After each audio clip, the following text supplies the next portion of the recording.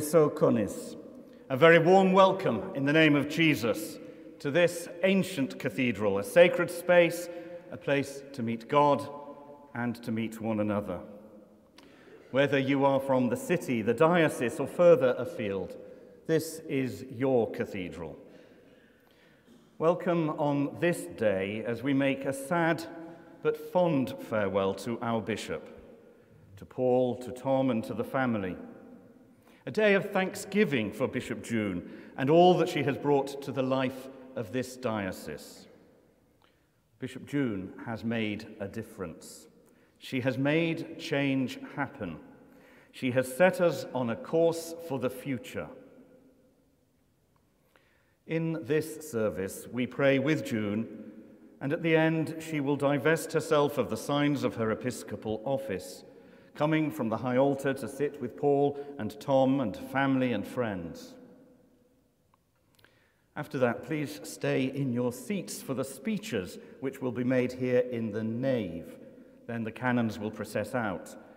And June will then lead us to the Lady Chapel for refreshments and the chance to talk and meet informally. Thank you to our honoured guests, to every single one of you for being here in this building that witnesses to the love of Jesus. Yma'i cariad Chris ar waith yn omni, bythed iddo ein tawys, ein gwarchod, heddiw a phob amser.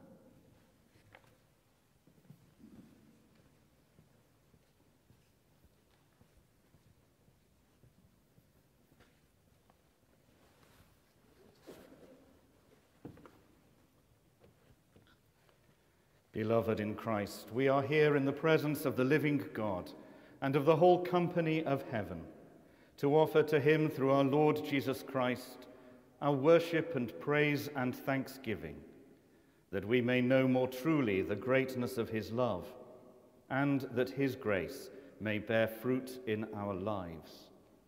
We have come to hear and receive God's holy word, to seek the strengthening power of the Holy Spirit, and to pray for ourselves and all mankind that we may be given those things which are necessary for our true well being. But first, let us confess our sins and seek our Father's pardon and peace.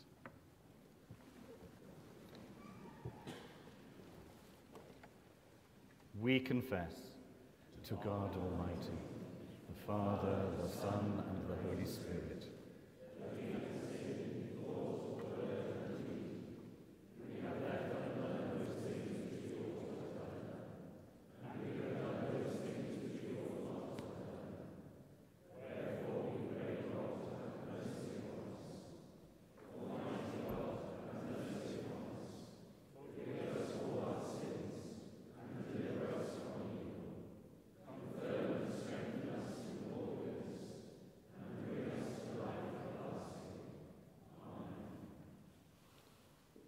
Almighty God, who forgives all who truly repent, have mercy upon you, pardon and deliver you from all your sins, confirm and strengthen you in all goodness, and keep you in eternal life.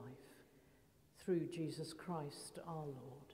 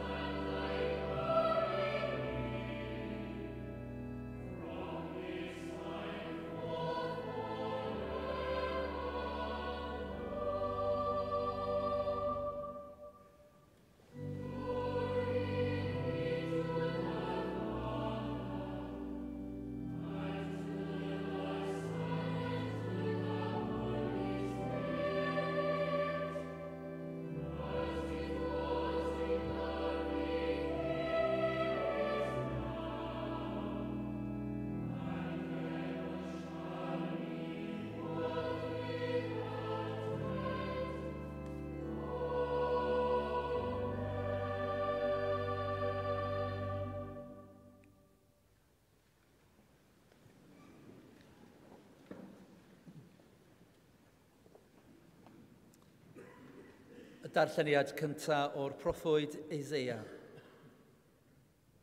Y nawr, dyma'r hyn a ddywed yr arglwydd, ath greodd Jacob, ac ath luniodd Israel.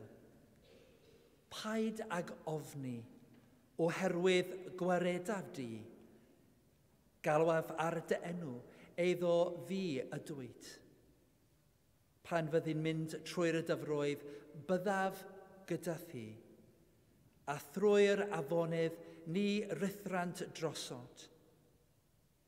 Pan fyddi'n rhodio trwy'r tan, nith ddeifir, a thrwy'r fflamau ni losgant di. Oherwydd my fi yr ar arglwydd dy ddiw, Sanct Israel, yw dywyredydd. Rhodd yr aifft yn iawn y drosod Ethiopia a Seba yn gyfnewid amdanat. Am dy fod yn werth fawr yn y fyngolwg, yn ogoneddus a minau'n dygaru. Rhodd eraill yn gyfnewid amdanat a phoblwydd am dy einioes. Paid ag ofni a roi fi gyda thi. Dyma terfyn y darlleniad gyntaf.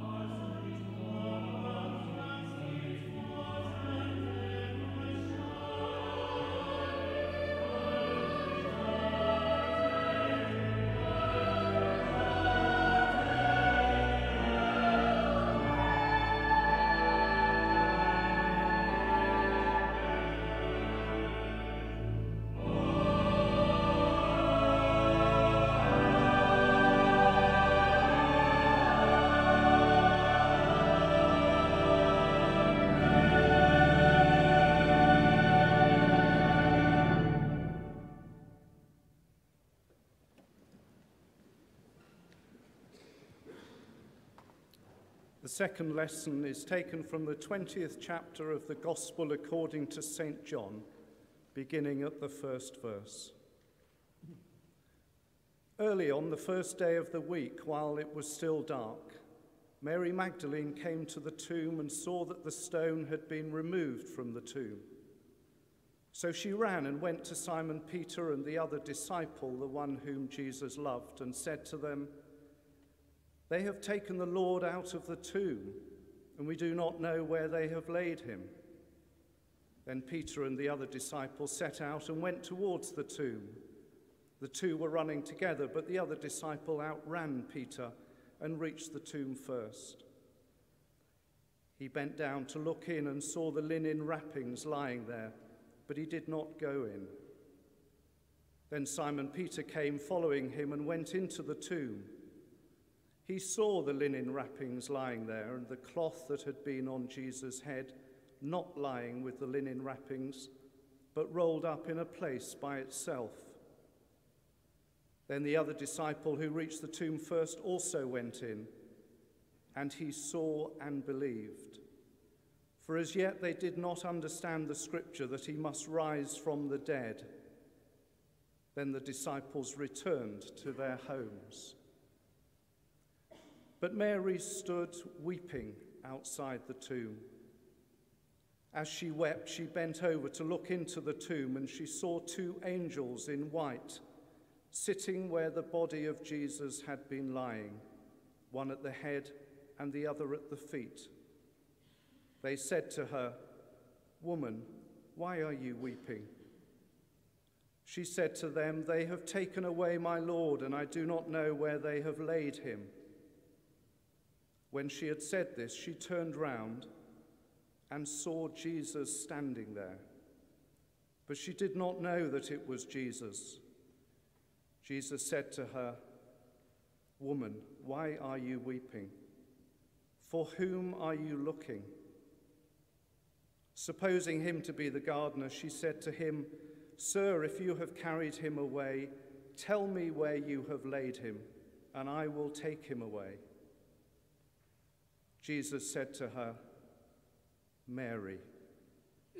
She turned and said to him in Hebrew, Rabboni, which means teacher. Jesus said to her, Do not hold on to me, because I have not yet ascended to the Father, but go to my brothers and say to them, I am ascending to my Father and your Father, to my God and your God. Mary Magdalene went and announced to the disciples, I have seen the Lord. And she told them that he had said these things to her. Here ends the second lesson.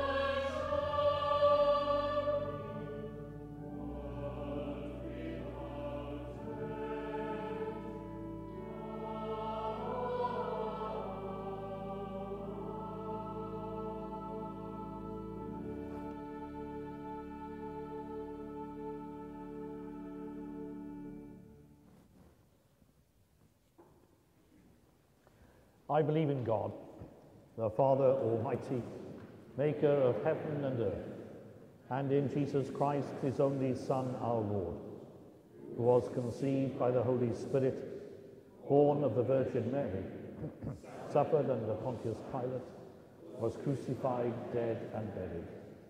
He descended into hell. The third day he rose again from the dead. He ascended into heaven and is seated at the right hand of God, the Father Almighty. From thence he shall come to judge the quick and the dead.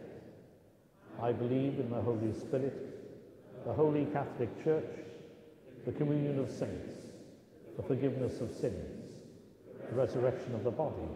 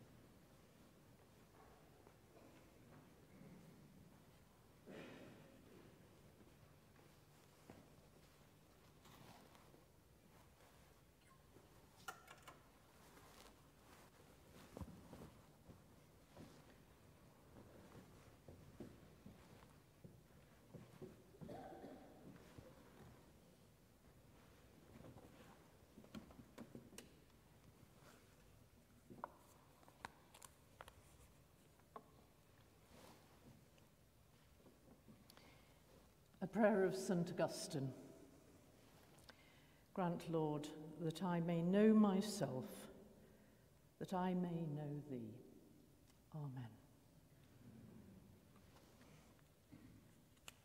At the back of your um, service booklet is an image of the walking Madonna.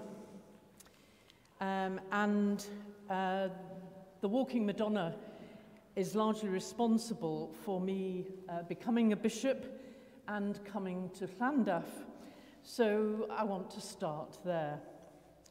Um, as you can see, it's a sculpture by Elisabeth Frink, and it stands outside the north door of Salisbury Cathedral. It's the entrance outside the door which worshippers routinely head towards services. Now, in uh, 2015, uh, Bishop Andy, as he then was, uh, will remember that he wanted a photograph of that sculpture for a book he was writing. Not only did I manage to be unavailable when he visited Salisbury to take the photograph, uh, so I offered him no hospitality whatsoever. Um, but he may remember that um, I forgot we were due to remove the statue for maintenance work just before he arrived.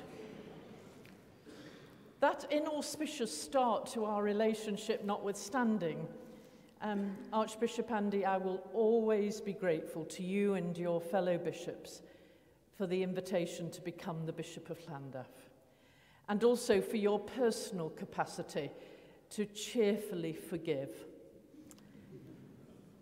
Actually, that uh, rare week when the Walking Madonna was removed to the workshops could have told the good people of Llandaff uh, a lot uh, more about their soon to be bishop.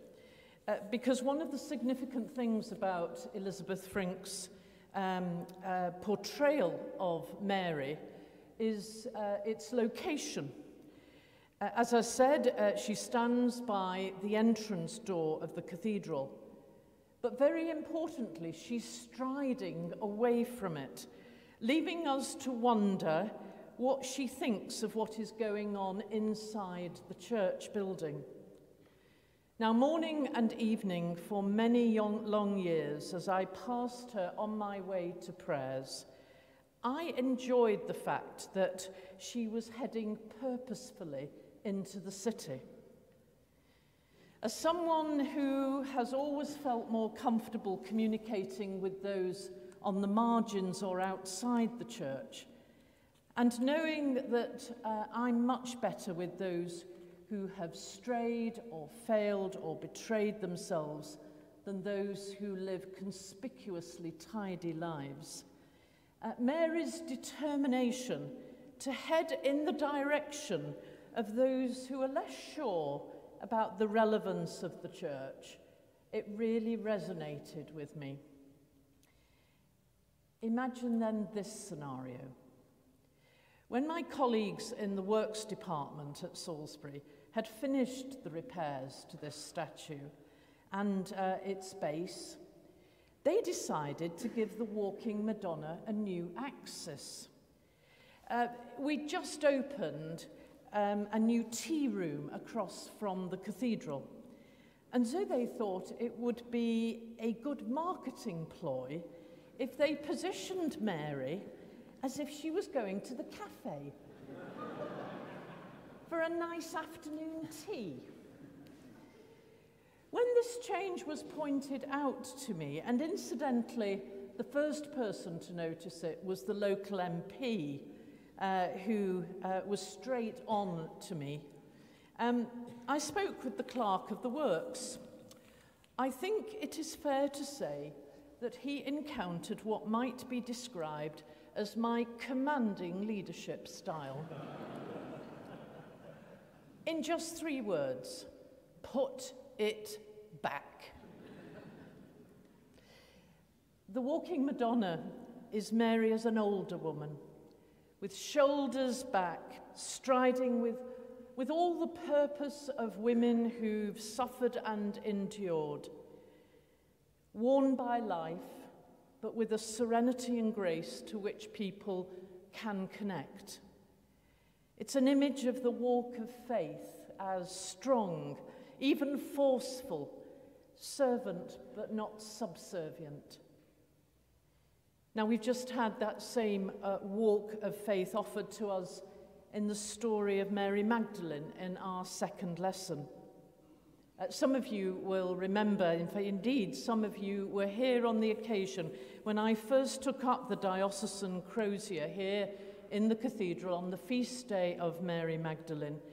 So I'm hoping that you won't mind. I know it's St Andrew's Day, but I hope you won't mind revisiting with me uh, the best known encounter that we have in Mary Magdalene's life, as I now, on this day, lay down that symbol of authority. One of the things I've enjoyed most as a bishop is preaching at the licensing of new clergy, putting people into jobs, jobs which are the joys and the hardships uh, of which they are yet to discover. And in those sermons, uh, and there have been a lot of them in five and a half years, I've often urged the clergy to live and preach the resurrection. So it's only fitting that I leave you tonight with the image of these uh, two women, these two Marys, both of whom embodied resurrection life, vulnerable and strong women, living in the power of faith and hope and love. Three thoughts then from Mary Magdalene as the first apostle, the first messenger of the resurrection that I want to leave with you. Mary Magdalene came to the place of her worst fears uh, before dawn, while, as it says, it was still dark. When the church first weighed up whether it wanted to trust me with ministerial responsibility, uh, ambivalent as it was then in the early 1970s um, about whether to have ordained women at all, I remember that it assessed my education, my skills, my seriousness in, in believing, but I don't ever remember anyone asking me if I was capable of courage. No one that I, I can remember put Mary's example uh, in, before me and asked, Are you able to set out while it is still dark? Are you able, maybe, to set out on your own, to find out what's going on, to get things done? To confront your own fear in order to do what you know to be right. No one dedicates their life to pastoral ministry, and bishops are nothing if they're not pastors. Uh, no one does that without, and uh, it, whilst being oblivious to life's toughness, of the cruelties of injustice, of the unbelievable human misery which some people manage to live through. Let's not indulge ourselves by thinking that the church is especially challenged in this day, as we know that many people turn their faces away from the invitation to worship. But neither let us indulge complacency. Rather, let us encourage each other to the courage that we need to live as apostles, of messengers of the resurrection, and yet to do it all with great humility. For there's another kind of darkness described here um, on this Easter morning, and that's the darkness of simply making mistakes, of being fallible. So, secondly, uh, we might celebrate that Mary stepped out in the face of her anxieties, but we also have to recognize that she got it wrong. Remember how she kept saying, They have taken away my Lord, and I don't, don't know where they have laid him. Uh, she jumped to the wrong conclusion that the, the body of Jesus had been stolen or that the gardener had removed it. But fortunately, she enlisted the help of those of others, Peter and John, to discover what was the truth. She got them, she got those two men mobilized. And between them, in three very different ways, they each became Easter people. Finally, they reached a knowledge of what was profoundly true and what has enlivened the church and society ever since. The truth that faith in God matters, that love is all powerful, and that hope endures. I guess one of my abiding legacies in Llandaff will have been to structure the diocese so that everyone, lay and ordained, works in a team. An innovation that is welcome to some but not to all. Yet I believe that's what leaders do. They build highly effective teams. Not least because that mitigates against their own errors and mistakes. We're both safer and more imaginative if we stay close to the wisdom of others. Let me say this now. I've never had a single original thought in the entirety of my ministry. I have happily stolen every good idea I've ever had from the wonderful people I've worked alongside. So, if Mary was to discover what was true in her life following the brutal death of Jesus, she had to do two things. She had to stay in the place of that lived reality, Ama Ohid, and she needed others to do it. Particularly, she needed Jesus and she needed her relationship with his followers so that she was able to discover for herself a more radical truth a more radical reality. Thank you, Team Llandaff, for as I've shared my oversight with you, you've generously helped me discover deeper truths about myself and the God we worship. So there's two elements of Christian ministry courageously to stay with our lived reality and seek truth through our worship and our collaborative life with others, even with those with whom we disagree.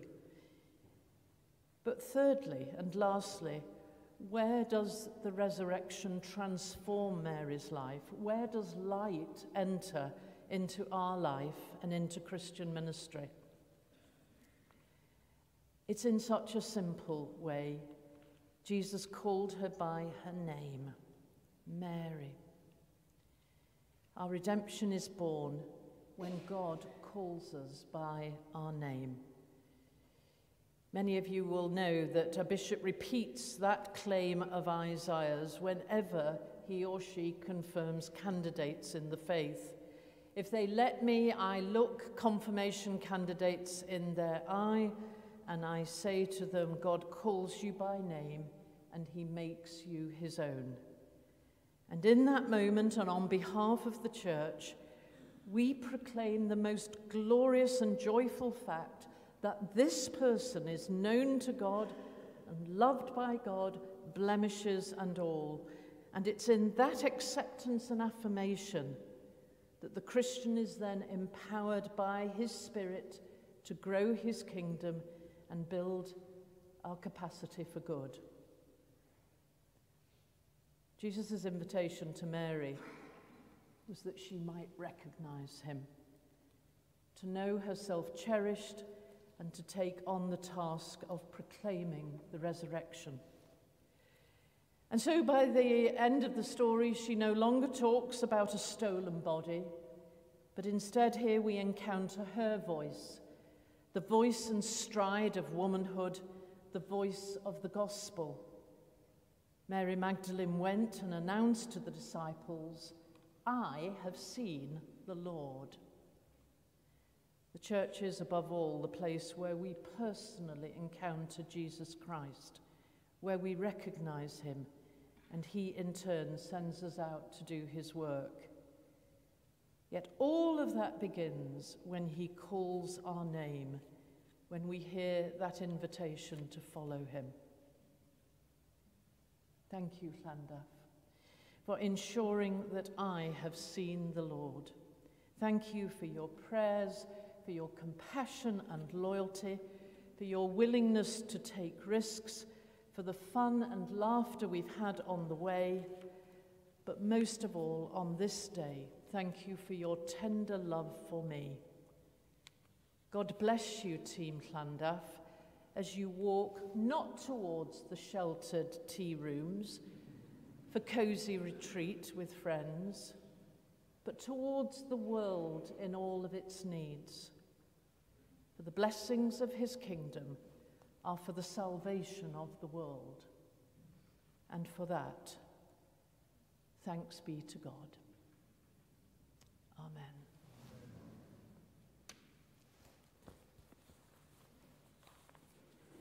Amen.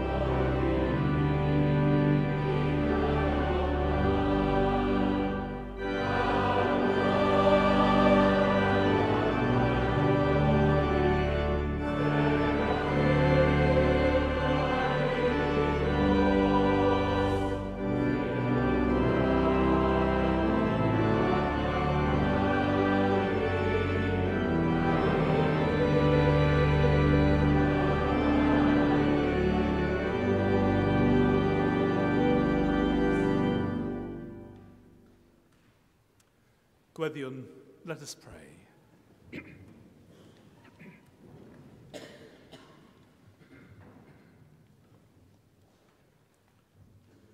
Lord God, through your church, you called June to be our chief pastor and shepherd, to proclaim God's word and celebrate the to interpret the gospel for us and maintain the unity of the church. Through her, you have provided leadership and guidance for us in the Spirit of Christ. Through her, you have challenged us with the gospel mission.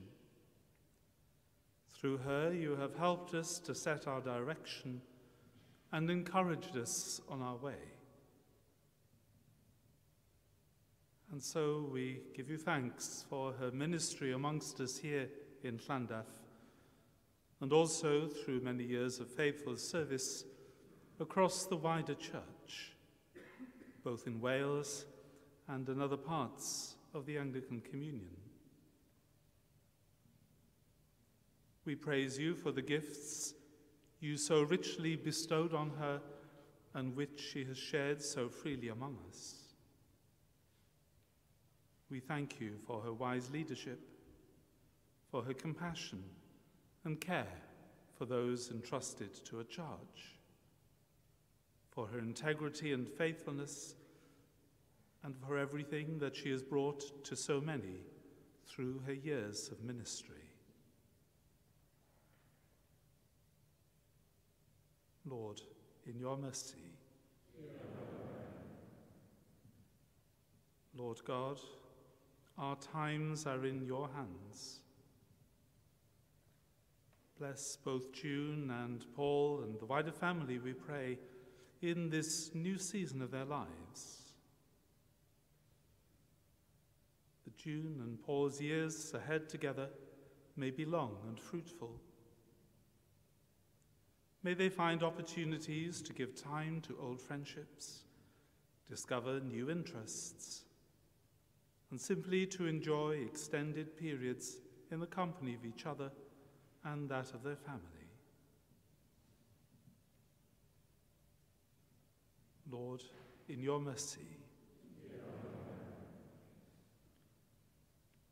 at this time of transition for this diocese, we pray for the guidance of your Holy Spirit, especially for all who will bear the responsibility of electing a new bishop. Through prayer and a trusting heart in your purposes for your church, may they discern the person that you call to be our next bishop. As within the diocese, we continue to tell a joyful story to help grow your kingdom and to build our capacity for good. Lord, in your mercy, Lord God, we pray for the church in every place and for all with whom we share a common baptism. May all Christians be faithful to the call of that baptism passionate in fulfilling God's mission to his world, and humble in serving its people. Especially, we pray for your people in this province of Wales. For Bishops Andrew, Gregory, Joe, Cherry, and John. For Simon Lloyd and the provincial staff. For the members of the governing and representative bodies we pray also for all who contribute to the life, mission, and ministry of your church in this Diocese of Llandaff. Our lay leaders and clergy in their work within our ministry areas, our interim area deans, our diocesan staff, and the members of the bishop's leadership team. May they be granted unity and purpose and passion in service. Lord, in your mercy, Lord God, we pray for your world which the Church has been called to serve. May it know that peace which is your will and for which it so longs.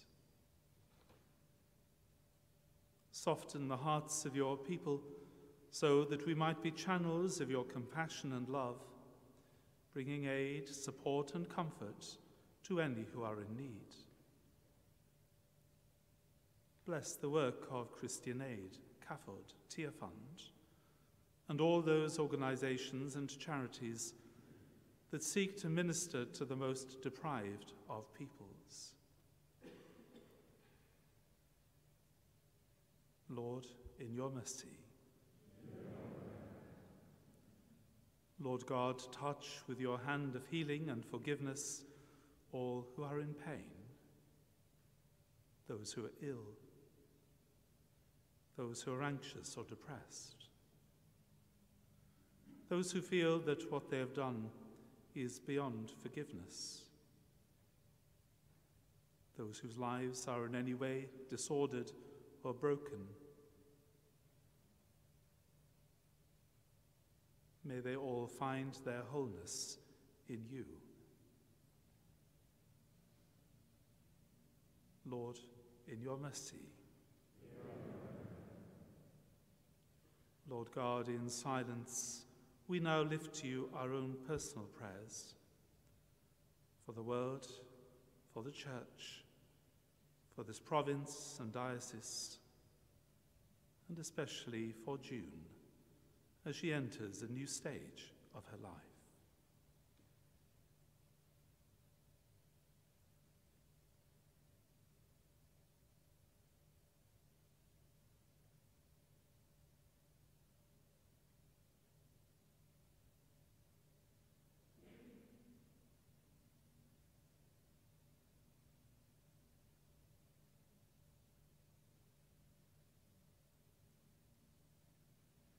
Lord, in your mercy, hear our prayer. And we say together the words of the grace. The grace of our Lord Jesus Christ, and the love of God, and the fellowship of the Holy Spirit be with us all evermore.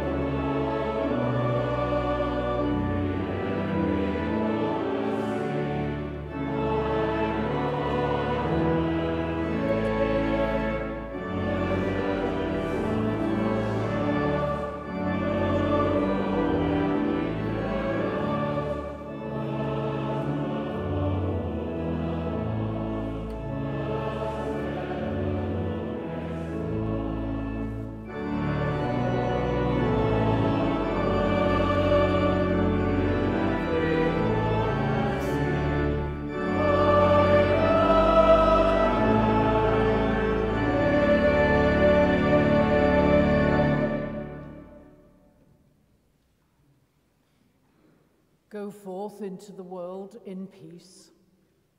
Be of good courage. Hold fast that which is good. Render to no one evil for evil. Strengthen the faint hearted. Support the weak. Help the afflicted. Love and serve the Lord, rejoicing in the power of the Holy Spirit.